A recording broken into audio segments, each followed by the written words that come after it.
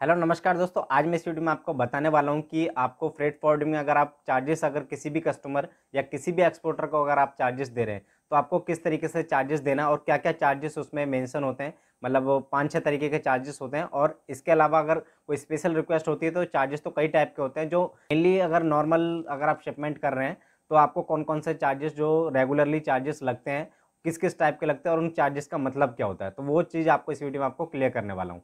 तो वीडियो में आगे बढ़ने से पहले मैं आपको बता देना चाहता हूँ, अगर आप चैनल पर नए हैं तो चैनल को सब्सक्राइब कर लीजिए, बेल को प्रेस कर लीजिए, ताकि हमारी नई नई वीडियो के अपडेट्स आपको सबसे पहले मिल पाए। क्योंकि मैं इस चैनल पर फ्रेड फॉर्म से रिलेटेड इम्पोर्ट एक्सपोर्ट से रिलेटेड डॉक्यूमेंट्स का प्रोसेस आपके लिए लाता रहता हूँ, और अलग अलग जो उनके कैसे वर्क करते हैं, वो सारी चीज़ें आपको इस चैनल पे आपको प्रैक्टिकली आपको बताता रहता हूँ।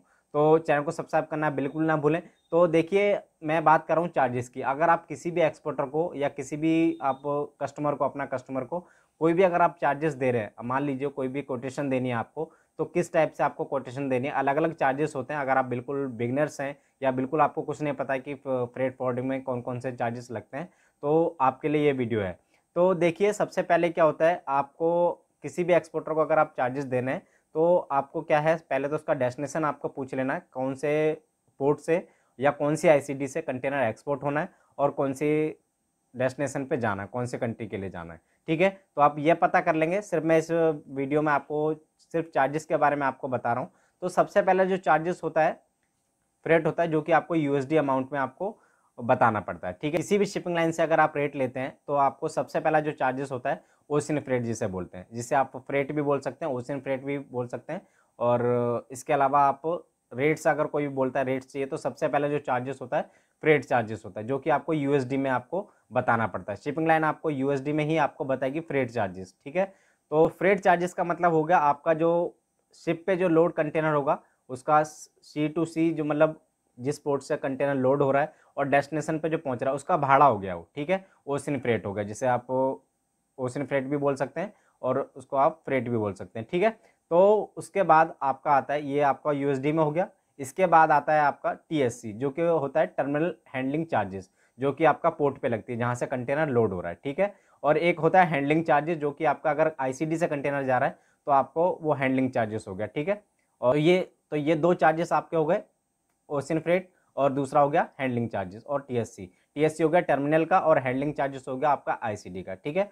तो तीसरा चार्जेस होता है आपका बीएल चार्जेस जिसे आप बिल ऑफ़ लेडिंग भी चार्जेस बोलते हैं बीएल चार्जेस भी बोल सकते हैं और डॉक्यूमेंट चार्जेस भी आप बोल सकते हैं। तो आप इन चीज़ों में कन्फ्यूज़ मत होइएगा बीएल चार्जेस और bill of lading charges document charges एक ही होता है, ठीक है? तो आपसे अगर कोई डॉक्यूमेंट चार्जेस अगर आपसे ले रहा है तो आपको एक ही बार आपको चार्जेस देना है या बी चार्जेस उसको बोल लीजिए। उसे आप बिल ऑफ़ लेटिंग चार्जेस बोल दीजिए या डॉक्यूमेंट चार्जेस बोल दीजिए, ठीक है? तीनों का मतलब एक ही है। ये आपका एक डॉक्यूमेंट जो ओरिजिनल डॉक्यूमेंट जब आप शिपमेंट कर लेंगे तो आपको ओरिजिनल जो डॉक्यूमेंट्स मिलता है, उसे आप बिल ऑफ़ लेटिंग बोलते हैं, ठीक है? बिल ऑफ़ लेटिंग भी बोल सकते हैं बीएल भी बोल सकते हैं, ठीक है? तो आपका ये तीन चार्जेस हो गए ओशियन फ्रेट टर्मिनल हैंडलिंग और बिल ऑफ़ लेटिंग चार्जेस ठीक है? तीसरा होता है सील फ़ीस ठीक है? जिसे आप एक, जो सील होती है कंटेनर में लॉक लगाने के लिए, वो आपको शिपिंग लाइन से मिलेगी, जिसे आप बोलते हैं सील चार्जेस ठीक है? कंटेनर सील लगती है, जिसे आप कंटेनर सील भी बोल सकते हैं और सील चार्जेस भी बोल सकते हैं, ठीक है? और एक कस्टम से मिलती है, वो तो कस्टम खुद लगा के देती है, उसमें आपको चार्जेस नहीं देने पड़ते, ठीक है? और तीसरा हो गया आपका आई चार्जेस ये आपको पाँच चार्जेस हैं मैंडेटरी यूज़र चार्जेस होता है, ठीक है? या पाँच चार्जेस हो गए ओशन फ्रेट जैसे आप फ्रेट चार्जेस भी बोल सकते हैं। टर्मिनल हैंडलिंग हो गया टर्मिनल के जहाँ कंटेनर लोड होता है मेन पोर्ट पे सी पोर्ट पे बोल रहा हूँ।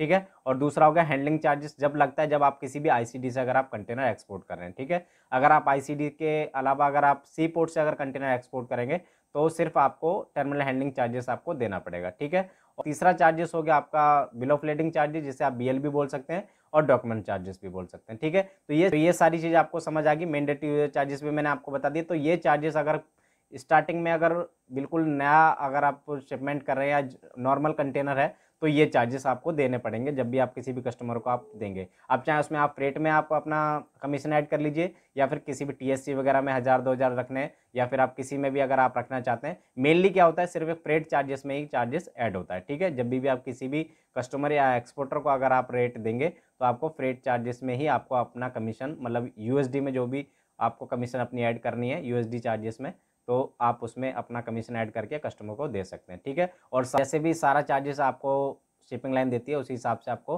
कस्टमर को इन्वाइस करनी है, सिर्फ़ आपको फ्रेट में आपको अपना चार्जेस ऐड कर लेना, ठीक है? तो इस, ये चीज़ आपको समझ आ गई होगी कि कौन कौन से तरीके के आपको चार्जेस लगते हैं और कौन कौन से चार्ज मान लीजिए कभी आपको नहीं पता होता कि टीएससी क्या होती है और बिल ऑफ़ लेटिंग क्या होता है बीएल क्या होता है, कई बार लोग कन्फ्यूज़ हो जाते हैं। तो ये वीडियो मैंने आपको इसीलिए बनाया था कि आपको चार्जेस के बारे में आपको समझ आ पाए। तो इन्फॉर्मेशन अच्छी लगी होगी तो वीडियो को एक लाइक ज़रूर कर दीजिएगा और चैनल को सब्सक्राइब कर लीजिए ताकि हमारी नई नई वीडियो की अपडेट्स आपको मिलती रहे और बेल आइकन प्रेस करना बिल्कुल ना भूलें, जिससे आपको सबसे पहले हमारी वीडियो की अपडेट्स आपको मिल जाएगी।